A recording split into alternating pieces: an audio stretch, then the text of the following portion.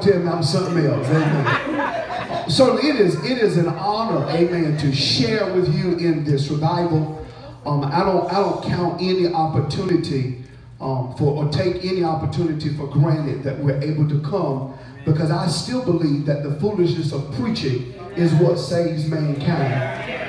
And I still believe that in this dark world that we live in, and I want to talk about it a little bit tonight, but I still believe that in this dark world that we live in, the Word of God is still the only thing that's going to bring us through. Our, our, Reverend tonight read our scripture from Jeremiah, the 20th chapter. Uh, and I want to just pick out one verse that he read. He read verses 7 through 11, but I want to just pick out one verse of scripture tonight for the sake of preaching, and that is verse number 9. If you turn there with me, I'll be uh, very grateful. Verse number 9, I'm going to be reading from the New International Version.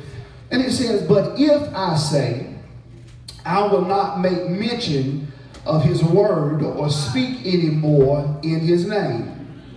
His word is in my heart like a fire, a fire shut up in my bones. I am weary of holding it in indeed, and I cannot. Tonight, for just a few moments, I want to talk from the subject I'm going to stay with the Lord. And would you reach over to tell your neighbor, say, neighbor, neighbor I'm going to stay with the Lord. I'm going to stay with the Lord. As I was preparing for, for this message tonight for revival, earlier today, uh, I was able to share with a friend of mine who's also a preacher. In our time together, we were, were talking about some of the calamities and the tragedies that we as children, even of God, have to endure in this dark world.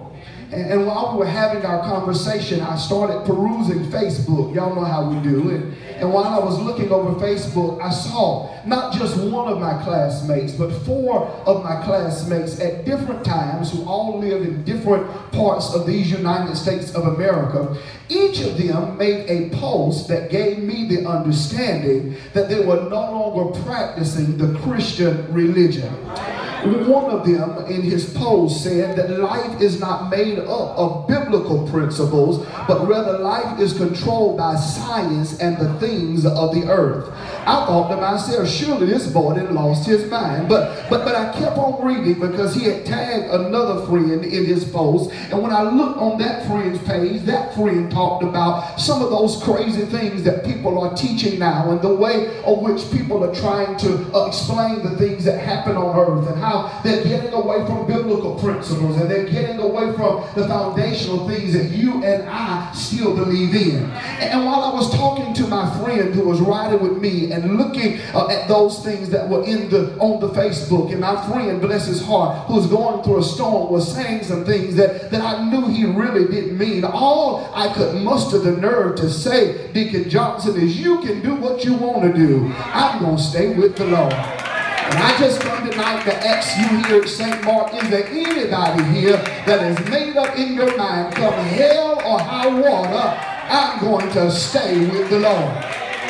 And I back up just a moment and tell you that the truth of the matter is the enemy is at, is, at, is at war all around us, trying to do all that he can to cause those of us who are children of the Most High God to come down off of the wall for the Lord. That's the reason that the enemy allow or brings trouble in your life time and time again, simply because he's trying to make you give up on your fight for the Lord. Somebody knows what I'm talking about tonight. Yeah, yeah, I know you can't be honest in the sanctuary, but can I go in your bedroom for just a moment with your door closed and your blinds shut down? And can we just have a personal conversation? Have you ever been at the place in your Christian journey where you had decided you didn't want to serve the Lord anymore?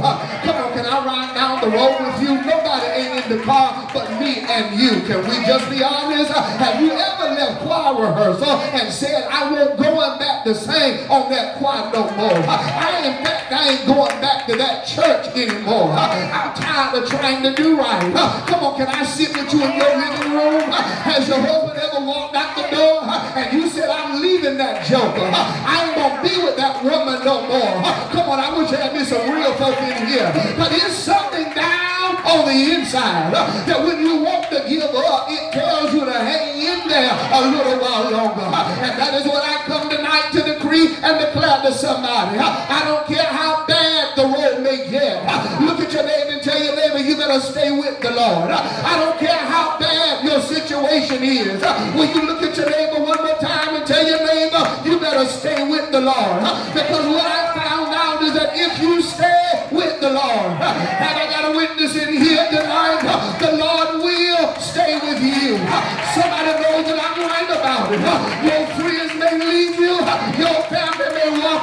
But there ought to be somebody here tonight that can say like my grandmama said, I'm on the battlefield for the Lord. And I promised the Lord I was going to serve him.